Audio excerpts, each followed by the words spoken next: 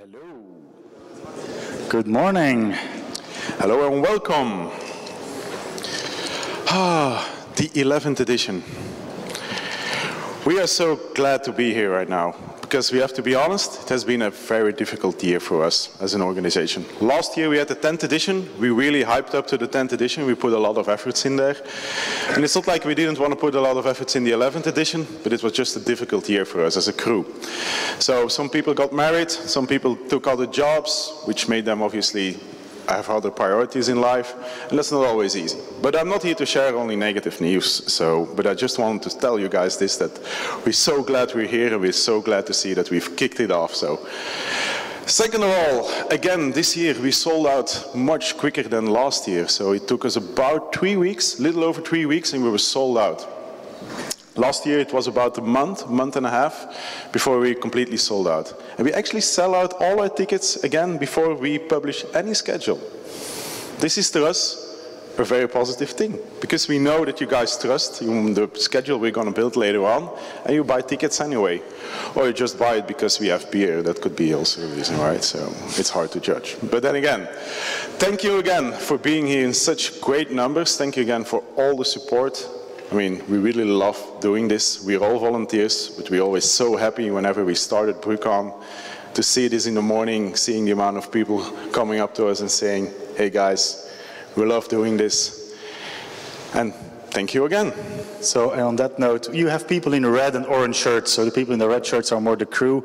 The orange shirt people who are volunteering. It's thanks to all of them, all of their time, all of their effort they put to, into this, that we can arrange a BruCon like this. So please give them a round of applause.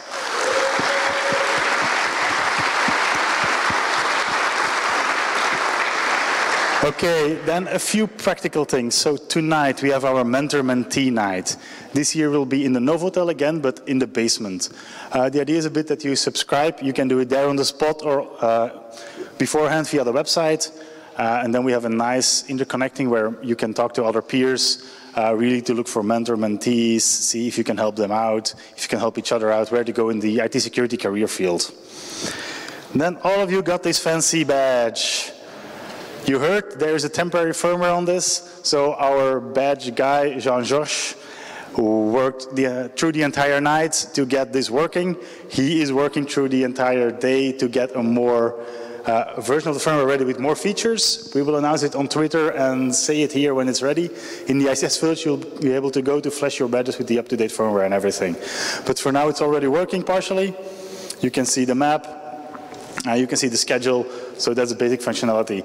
If any one of you want to help out, we will open the Git repository as well. You can push code.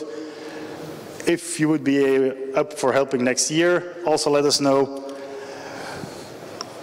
The night, the night there also will be a party. It'll be in the same location as last year. It's Le Bateau. All information is in the booklet. Uh, so you can find there, and we hope to see you all tonight. Okay, I think that's that's about it. Speak, yeah, speaker then I'm going. Well, okay, uh, enjoy the conference, have fun. If there are questions, come and find us. Enjoy BruCon. Thank you.